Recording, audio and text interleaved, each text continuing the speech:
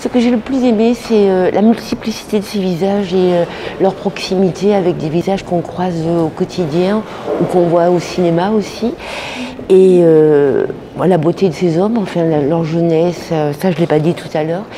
Et voilà, donc j'ai vraiment essayé de chercher une reconnaissance des visages, des traits, comme, comme des types européens différents.